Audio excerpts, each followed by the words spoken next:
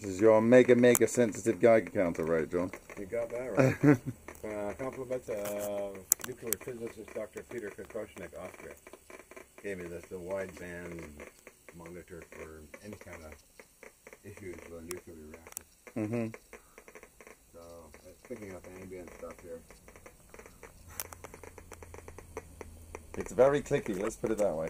Oh yeah, yeah. It's to monitor a huge amount of territory. Like so, this would be in a nuclear power plant, perhaps. Shielded, so if there's one click, that would be a concern to the, uh, the physicists working it. Has it got a sensitivity adjustment on the side? Uh, this thing I made in a, in a um, storage locker because uh, the lady I was with at the time in um, didn't want anything in the apartment. So Yeah, yeah. I came up there with Radio Shack stuff and put this thing together. Yep. It's all batteries inside. Cool. So, can you run me through? We've got some waveguides here, and you've got hydrogen line being fed into those, right? Uh, frequency, yeah. Yeah. Um, hydrogen line uh, comes from this generator, which is a Mm-hmm. radar test set. Yeah. used uh, by the Navy. Can dial in any kind of frequency I want and any type of waveform I want. Mm-hmm. And above it is a countermeasure system off a warship that goes with this piece here. And uh, that I can adjust to as well. A lot of inputs and outputs on it. And then next it's uh, You got a variac there. What are you using that for? that very accurate, a high voltage transformer down to the very end of the ray gun, which Yeah. operates around the ball. And what I don't have here, which I did have a couple of years ago, the Mhm. static generator. They'll load this whole thing with static energy. So Charles is going to get a uh, ion generator. Cool. so- And so these very long waveguides here. Oh yeah. What, what's the thinking behind them? Uh, well, setting up standing waves and that kind of stuff was in my head. Whether Yep. uh, the idea got off of warships because they got this size going all the way to the superstructure. Oh, they have, have they? Oh yeah. All right. Okay. So you, you saw this and you thought, let's implement it with the equipment, right? Yeah. Yeah. Yeah. I I studied a lot of the uh, main radar systems on the, on the ship, and Yeah. actually KLC TV filmed me taking apart uh, the main radar. And what's the thinking behind these insulated uh, discs? Are we look, setting up some resonance there, or? No, not really. That's just electrostatic accumulation. Oh, okay. That's what I use those for. Uh, So is that that why? Do you need to be in a dry environment for collecting this, or? Yeah, that is really good to be in a dry environment. And at the at um, the other area, what? The other area was very damp, being on the coast, On the coast, right? Yeah. Yeah. Yeah. and it just would collect oil and water, oddly enough, all over it. And, Oh, really? Yeah, and if you touch the surface here, you'll see that Ah, the okay. is kind of rough.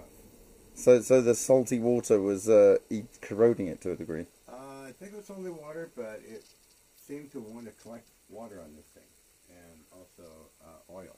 And where the oil came from, I really don't know. So these static, static accumulators. Is there any reason for the distance between here? Is that important? No, I like dividing up I electrostatic and negative positive. Oh, okay. So- Is this is effectively insulated? yeah, this is plastic pipe. Okay. And what's what's the role of the coils here? Uh, that's where I can attach RF if I want to. Okay. There's the little clip, and there we go. Long way, mostly long waves and VLF and medium waves. Okay. And then you've got the are these waveguides as well? These very long cylindrical sections. no, these are the main supports, but they're antenna. Antenna. And Yeah, um, for what kind of frequency ranges? Uh, VLF. I can put them in series and parallel. Okay. And they're all insulated from one another. Yeah. Yeah. This is kind of a, a left behind experimental piece, which I might connect up. I don't know yet. It's actually a large um, electrostatic cathode ray. Mm-hmm. Well, actually, what I'm going to do, I think, is. Oh, you just got got it pointing at the wall. yeah, kind of. Yeah, yeah, yeah, What I'm yeah. going to do is connect up the. Uh, the uh, The HV lines there. Uh, no, static generator. Oh, okay.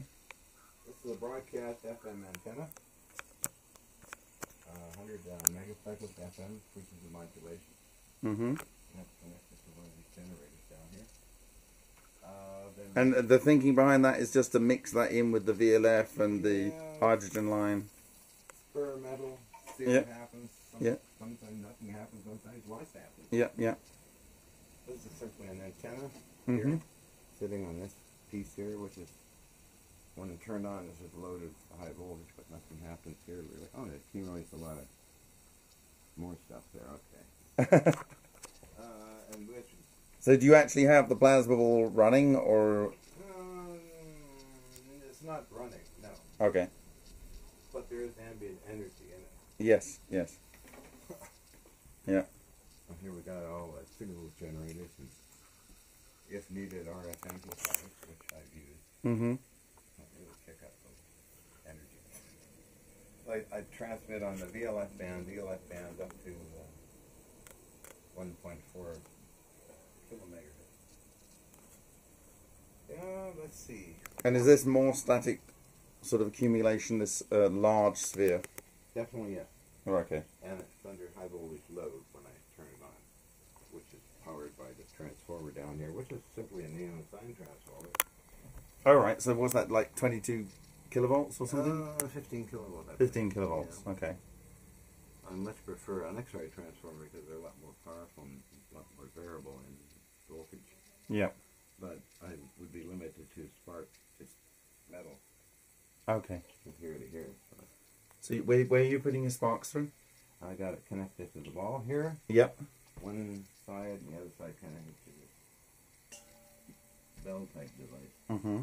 And the bell type device is, and that's hanging on on what? Oh, that's the, that's the other contact, right? Yeah, that's the other side. Okay, so you effectively you're building up static on here, Mhm. And then you're stimulating the passage of that static with whatever you're feeding through from the neon sign transformer, Neon sign transformer. and then you're looking for maybe either a spark gap here between these two, or not a spark gap. Not well, mostly not a spark gap. Okay. I find Yeah. it very disruptive. Yeah. But under high load or high tension, and there I have a rectifier, Mm-hmm. crudely made thing, but it does seem to Does the job. But I'm considering putting a capacitor in online there. Mhm. maybe a G3 cap, uh, ceramic type mica. It's a really good one. So, so what what would you describe as the business end? Is it is it that end or is it this end? well, it's all around the whole thing is broadcast. And yeah, because I guess if these long bars are antenna. Oh, the whole thing is live. Yeah, yeah, yeah. And this shoots out direct certain waveforms that I see in my head. Mm-hmm. uh, so we got uh, this here, oh, electromagnetics being twisted and formed, and Mhm. here. You Okay, is is this uh, hole there for a particular reason? I mean, is it is it? Yeah, it's just to get the energy out of these plates. Okay, okay, yeah, yeah, yeah. And this should be a very fine space there, which it is still. Yeah, Mm-hmm. not damaged. Hit the huge piece of aluminium here. Mm-hmm. Then this simply, basically takes all the stuff generated along the whole thing Mhm. and forms it to a certain pattern I see in my head kind of thing. So Right, right. it, it's kind of crazy way of putting it, but again, I'm not a scientist. Yeah, yeah. Just see it and it seems to work okay. And and this this bowl here. Uh, static accumulator. Mm-hmm.